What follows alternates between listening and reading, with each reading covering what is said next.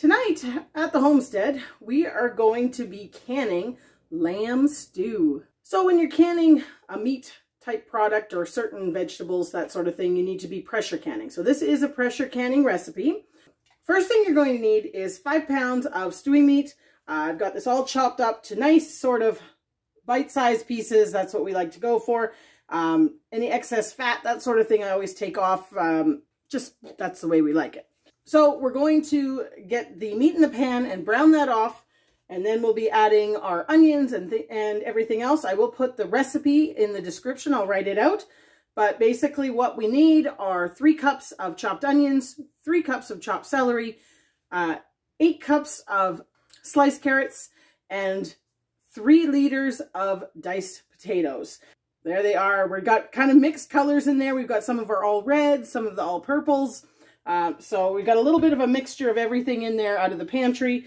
But this is great because as we're going through the pantry challenge, um, which we'll link our uh, starting of that series up above, we are going through stuff and this is great for restocking. That was basically all the ingredients. You're going to have some spices and we are actually going to do lamb broth, which I have over here uh, actually cooking. So rather than canning it, I've just made the lamb broth and we're going to put it right into the stew. And then we're going to get on to another batch of lamb broth. So I'll bring you back when we get to the point of adding some of the other ingredients. So you can see our meat is browning nicely, steaming quite a bit too, so hopefully you can see it. Now we're going to add our three cups of onions chopped.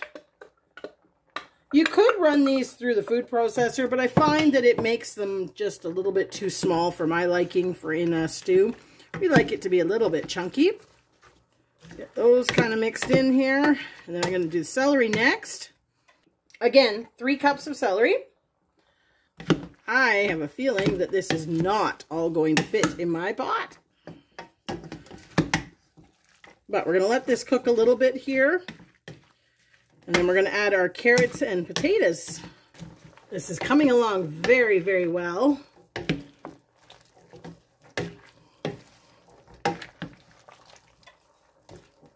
Going to add the carrots. Now, carrots, it's eight cups.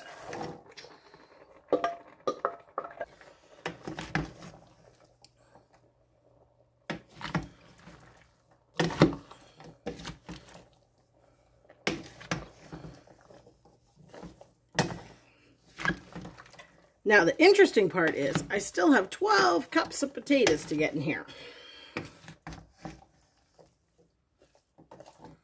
What's your call? Is it going to happen? Let's, oh, maybe it'll make it. It might do it. This pot holds eight liters. And this recipe usually makes seven quarts for in the pressure canner and then a little bit left over for us to eat for our meal that day. Look at that. We got it all in there. Now the big question will be, can I stir it up?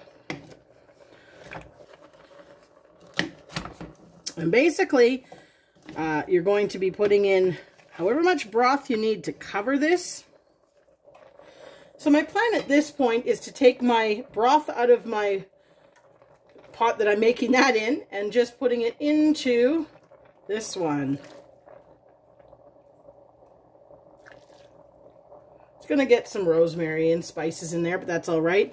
The broth also has garlic, salt, all that sort of stuff in it, which makes wonderful flavorings for this stew. Might even get the odd onion.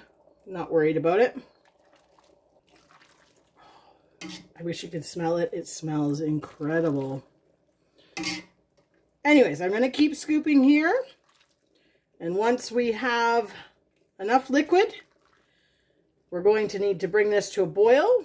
We're going to add two teaspoons of salt, one teaspoon of pepper, and one teaspoon of dried thyme. Oh, I'm starting to see liquid coming to the top here.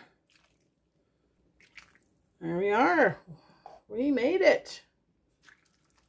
Okay, well that one got in there, but that's okay.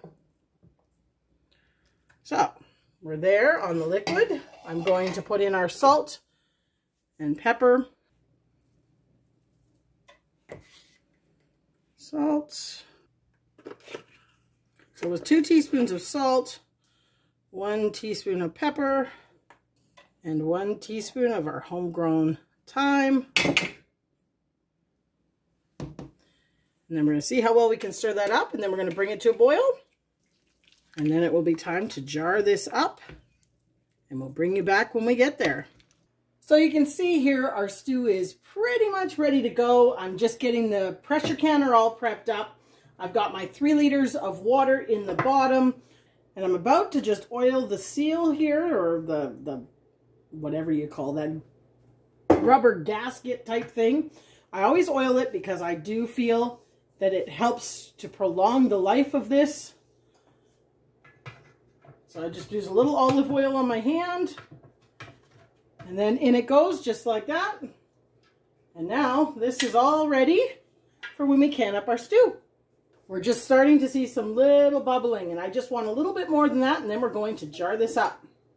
This is actually a great recipe for stew because you can take if you, if you don't have lamb, you could do this exact recipe with beef and it turns out amazing as well. I would just use beef broth instead of lamb broth, but all the spices I think would be exactly the same and it would taste fantastic. Lamb is just what we have.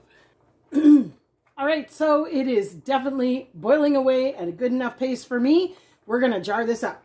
So the nice thing uh, with pressure canning is you don't actually need to sterilize your jars. So we are just going to go straight into filling, which is wonderful. Of course, it's not to fill easily. I love wide mouth jars, but they need to develop a wide mouth spout. We want to fill that jar. Here, I'll see if I can hold it up for you. It's a little warm.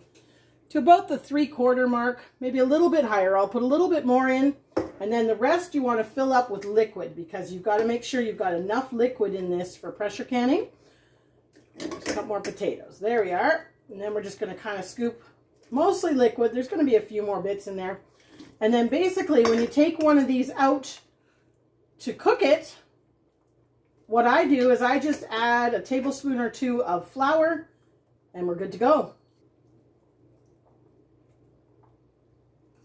So we want to leave an inch of head space on this for pressure canning.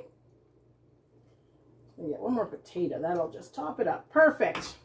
All right, so we have our jar filled and ready. We're just going to lift our funnel over, put a lid on, and what I do is finger tight. Basically, it's as soon as that starts to spin, that is where I leave it. And into the canner that goes and on to the next one. And we're going to fill all seven of these and get them going in the canner. So once I've got this ready, I'll bring you back to discuss a bit more about the pressure canner. So you can see there, our little guy has popped up and our steam is belting out. Actually, you probably can't really see the steam. You can hear it hitting my hand. Ooh, that's hot. So now we're going to put our weight on. And that's basically it. So once this gets to 11 pounds pressure, we will start counting our time and we'll bring you back when we take these jars out and have a look at just how it turned out.